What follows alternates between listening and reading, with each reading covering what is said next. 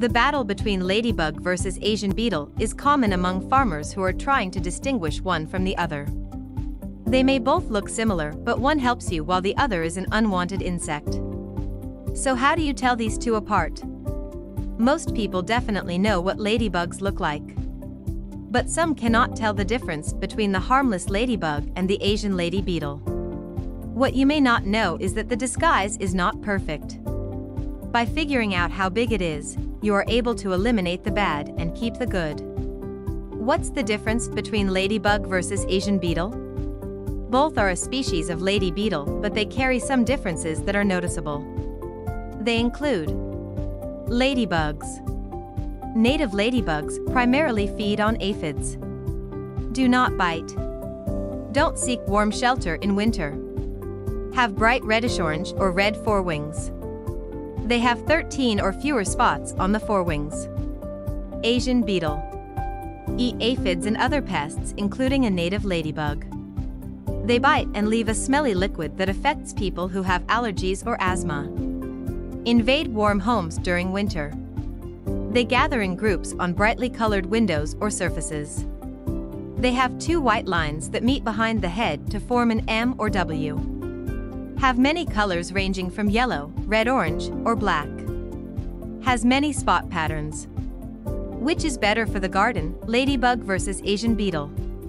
Both insects are predators to aphids that destroy vegetables, flowers, and fruits. But the native ladybug is the only insect that is beneficial. It only eats soft bodies plant pests like insect eggs or aphids that are laid on leaves. This ladybug is collected and sold as natural pest control for gardeners. Asian lady beetles eat aphids as well as the native ladybug species. It also infests fall fruit like raspberries, apples, and grapes. How can you attract the right native ladybug to your farm? Stop breaking the leaves on your farm. Ladybugs prefer the leaf litter even in winter, unlike the Asian beetle that goes for your warm house.